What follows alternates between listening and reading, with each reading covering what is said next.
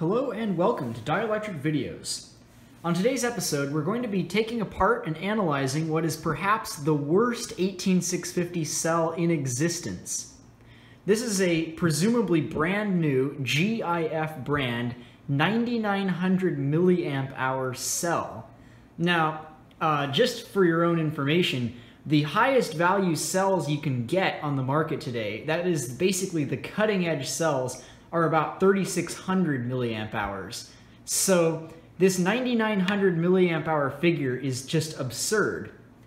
Now to uh, increase the level of uh, dubiousness further, the LG HG2, which is a relatively good modern cell, comes in at about 46 grams of mass.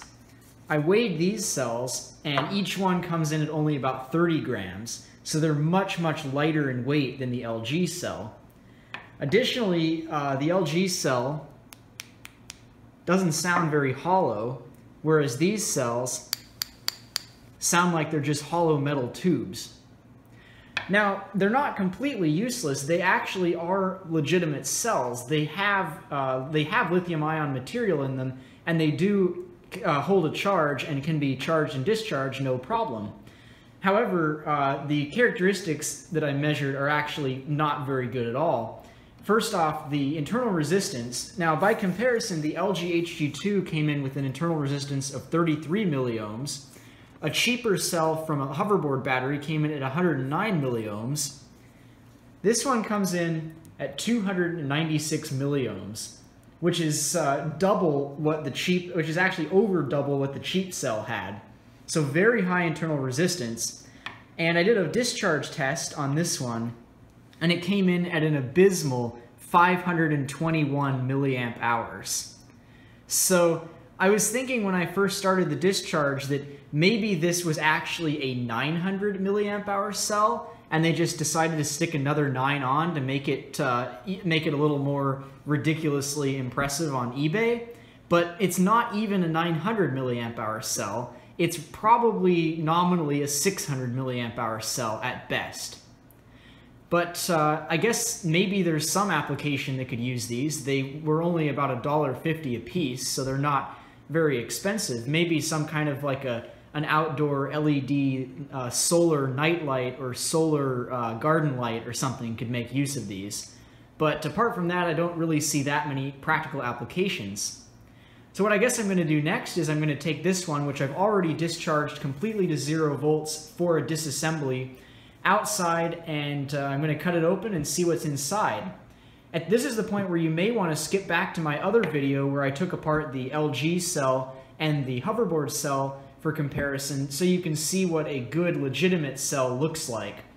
That way when we take this apart, we can see how different it is in reality. So let's get on and do that. So now I'm going to begin the disassembly. Now before I start, I should emphasize that this is not an experiment you necessarily want to try at home. Uh, if you don't properly discharge these all the way to zero volts, they can potentially uh, start a fire when they're uh, when the cases are punctured.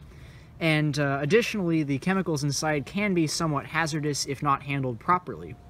So with that out of the way, uh, we can, in this controlled environment, begin disassembling this. And as with the other cells I did before, I'm going to start by removing the top anode side of the cell, and we can inspect to see if there is a uh, if there is a, a PSC in it, or a PTC rather.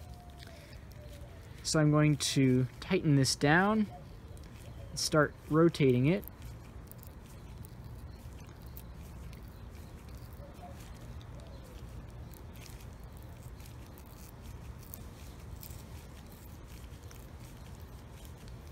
Looks like it's almost through. There we go, I think. Has that cleared it? Maybe not quite yet. We can get our get our top part off at least.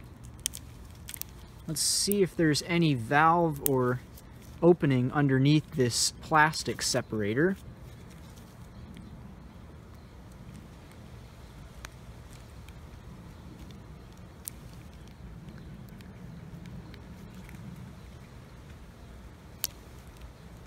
This one, well, yeah, it looks like it has some vents under it. So at least that's, if, if those really are vents, that's somewhat of a good start. means it may have over protect or overpressure protection.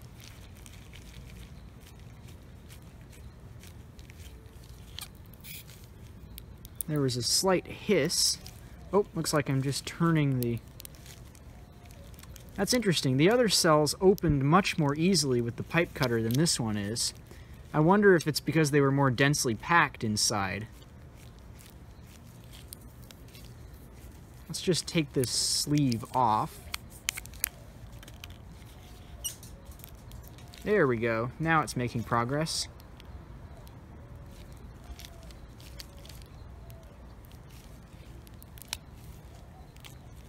See if we can use the wire cutters to make some more progress in there.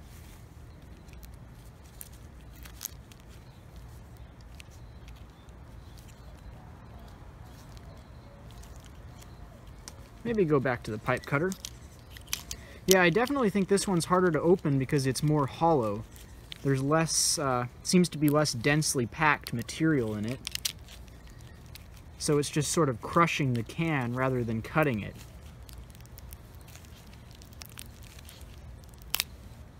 Now we got it. So let's look in there. So there's doesn't look like any sort of a PTC, so no pressure, temperature, current uh, interrupt. So that means if you shorted this thing out, it would very likely just uh, heat up until it either ruptured or just ran down. Let's have a look inside.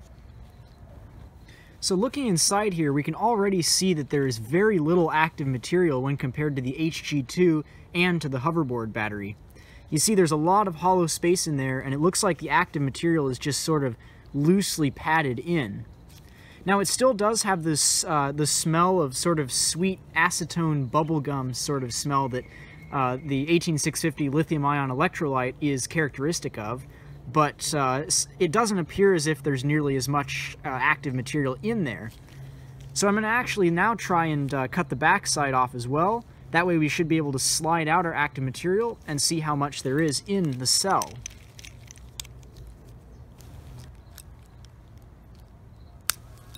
or just doing that. So that's interesting. It looks like the underside of this has a tape layer around it as an insulator. Let's see if we can just push push this out from the top.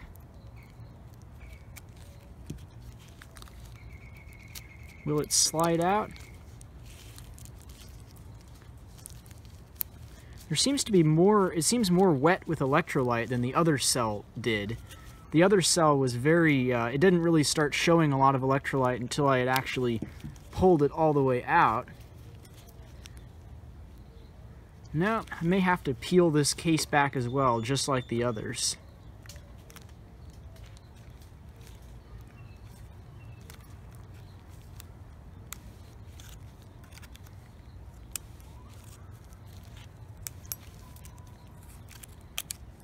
There it goes. Now it's coming out. So here's our active material, and as I noticed before, it has some tape holding it in place. This part still has some heft to it. I think the case is thinner as well. It's not just the lack of active material that makes it lighter in weight. So we'll take the tape off there. And let's see if we can unravel this and see how much stuff there is. Oh yeah, this thing is just soaked in electrolyte. Look at that. Similar in construction to the other cells with the separator. But look at that. We've got like maybe a foot, maybe a foot and a half of active material, and that's it. And this stuff looks pretty nasty. I mean, it's got this almost rainbow effect, this iridescence to it. Makes it look kind of like it was either really low quality material or just the application was uh, not very effective. So I think more than anything though, just the sheer small amount of active material is indicative of why this thing has such poor performance. It's also, it's very thick, just like the hoverboard battery. It's not thin like the LG cell. It's, which uh, I guess doesn't really matter because they're not trying to cram very much into this can, but uh, it's still pretty uh, pretty low rent compared to the uh, actual professionally built high-end cells. Separator is uh, about the same type of separator as what we found in the hoverboard cell, so nothing too special about that. But uh, yeah, there you have it. 9900 milliamp hours. I doubt it. well anyway, thanks for watching Dielectric videos, and I will see you next time.